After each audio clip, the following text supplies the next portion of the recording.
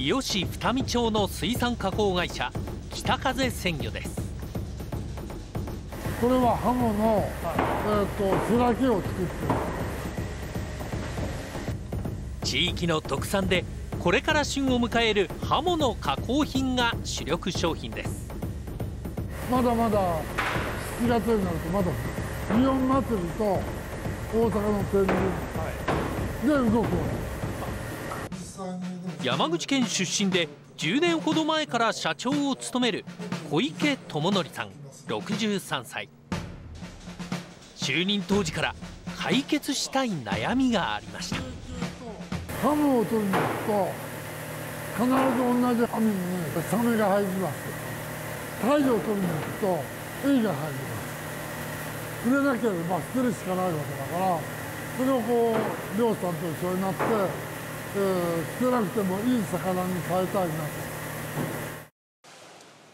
全国有数のハモの水揚げ量を誇る豊田漁港の下灘漁協。水揚げされたばかりのハモやタイが次々と競りにかけられる中運ばれていたのが県内でも一部の地域でしか食べられていないサメとエイ。市場でほとんど値がつかない未利用魚です。サメとかが入るとハモとこう擦れるんですよ。こうサメ肌っていうじゃないです。かってことは刃物のこの表面のこうぬめりが取れるんでで色がしらけたりまあ弱いんですよ魚自体まあエイとかやったらその毒針で刺すんですよ刃物サメ多い時で100キロぐらい。1キロと換算して100匹全部捨ててました。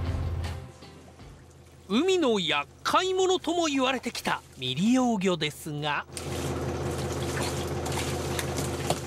サメやエイは生け締めにし手早く内臓を取り出すことで特有のアンモニア臭を抑えることができるといいます。小池社長下灘漁協の漁師たちの協力を得てサメやエイを買い取り販売しようとしているのです。なぜそこまでして未利用魚に目をつけたのか。若い人が継がない。取ってきたものは価値があると。一緒に価値を作っていくっていうのができたら若い人が魅力がある。県の漁船統計表によると下灘漁協では2005年に103隻あった漁船の数は去年は40隻と4割以下に減少高齢化も進んでいるといいます。価値が出てくれたら自分らも今までこうやって捨てよったものがそういうふうになるのやったらいいかなと思います。サメやエイに価値をつけることで漁師の収入アップと仕事のやりがいにつなげたい。しかし大きな課題となるのが買い付けたサメやエイを売る販路です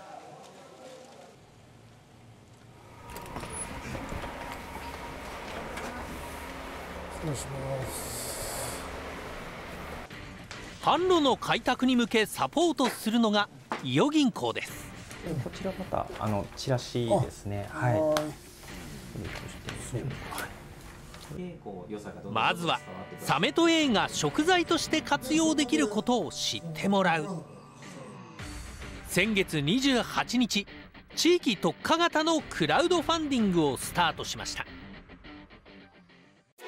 地域特化型クラウドファンディングは企業や個人が単独で実施する一般的なクラウドファンディングと違い地域の課題克服に向けたプロジェクトを地元の金融機関などがサポートし日本中に PR するサービスです。今回のプロジェクトではクラウドファンディングの有名サイトレディー4も協力して未来よ愛媛を立ち上げ120万円を目標に出資を募っています。すごくいい取り組みしててもまずそもそも知られない。バイヤーさんその川下の方たちにも共感をいただいてその生産からこう流通のところがこう、まあ、つながっていくとですね本当にこう実際サメとかエイっていうのが未利用魚ではなくて普通にあの使われる魚になってくると、まあ、そこを目指してはいるので。この未利用魚で1億目指したいなと。トン単位で物がないとそんな授業になったん。だ、まあそしたらまあ漁師さんにとっても悪い話ではない。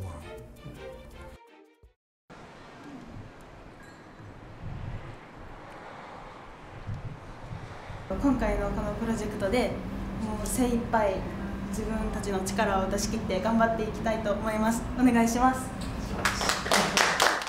この日松山市内の飲食店を訪れていたのは伊予農業高校生活科学科の生徒たち。サメやエイを食材として美味しく味わってもらおうと今年2月から共同で新メニューを開発しています。完成です。サメのフライに伊予市産のキクラゲ入りのタルタルソースを合わせたサメバーガーと A の唐揚げにネギを乗せた油淋鶏ならぬ油淋鶏試食するのはプロの料理人たちです。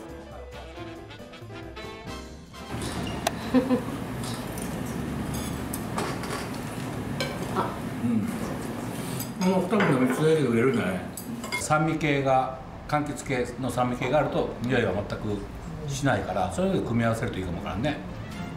アドバイスをもとにイオノーメンバーは現在もメニューの改良中。レシピはクラウドファンディングの返礼品に添えられる予定です。ハードルが高ければ高いほどいいんじゃないですか？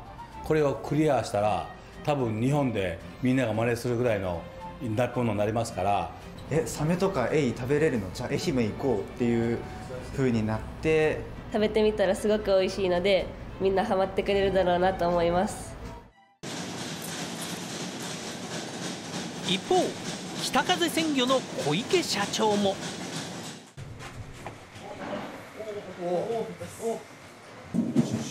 いやそうですねエイのこの面白いですね。こっちのが美味しそうですね。これ言われんかったら本当高級な。タイに似たようなサメとエイを刺身で食べる方法を試していました。まるでタイのような白身のサメは？この鮮度だったら普通の白身は硬いはずなんですよ、まだ苦いか美味しいです。美味しい。この臭みというかそのない。本当に美味しいですね。タイより逆にそのさっき言うとまったりとかあなんか逆逆に甘みも感じるぐらいの。そして独特な色合いをした赤身のエイは？おお食感変わります。これなん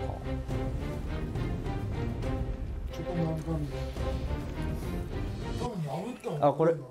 これはですねめちゃくちゃ美味しいです なんかお肉のようなというかでお肉に近づくような感じです。生け締めしてすぐ内臓を取り除くからこそできるこれまでになかった味わい方です。これができたら量が変わるんですよ。刺身を取れる魚っていうのはやっぱ刺身の単価とか全然違うじゃないですか。タイが1としたら例えば0.6で売れればタイの0.6が作ってるとしょだから価値のある魚ですよね。サメとエイの刺身もクラウドファンディングの返礼品に採用されました。他にもサメのフライに A の唐揚げ伊予市産のキクラゲやハモしゃぶ2種類の鯛めしなど伊予市の海の幸満載の返礼品のラインナップが決まりました。何かをしないともう人口が減るだけまあ言えば限界集落になるだけっていうのがもう統計上出るわけなんですだから止めようと思うなら今までと違うことを何か始めないといけない。まあちっちゃいですけどまあその一つをやってみたいなっていう感じ